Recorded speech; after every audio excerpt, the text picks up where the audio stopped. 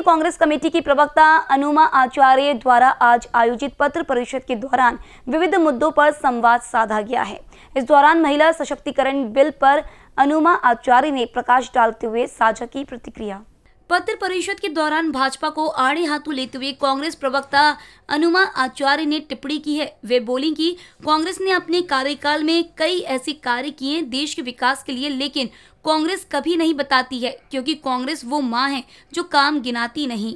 अब प्रधानमंत्री जी से कुछ नहीं हुआ तो हमारा जो एयरफोर्स डे होता है ना, आठ अक्टूबर को तो हमारा दिल्ली में एयर शो होता है। आप सब जानते हैं, लेकिन भोपाल में करा रहे और कहीं दाल नहीं गल रही तो में 30 सितंबर को एयर शो हो रहा है। तो इस तरह से सेना का इस कदर बेजा इस्तेमाल आज तक किसी पार्टी ने नहीं किया था। कभी देश में इतिहास ही नहीं रहा। सबसे ज़्यादा सेना के नाम पे, जबकि कांग्रेस की सरकारों ने तीन हज़ार जहाज़ खरीदे। आप जोड़ लीजिए। और अपने समय के बेहतरीन। और इन्होंने छत्तीस खरीदे और लोगों को झूठ बोला कि हमने सेना को पावरफुल कर दिया। हमारी सेना विश्व में वायुसेना विश्व की चौथी सबसे बड़ी वायुसेना है। तो जो दिखते हुए सच को भी झूठ बोल जाए उसके बारे में क्या कहेंगे आप? कांग्रेस वो माँ है जो रोज नहीं बताती है कि मैंने तुम्हारे आप बिस्तर ठीक कर दिया, कमरे में झाड़ू लगा दी, तुम्हें रोज खाना खिला दिया।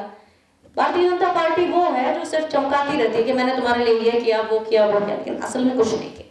कैमरा पर्सन अजीत के साथ क्षितिजा देशमुख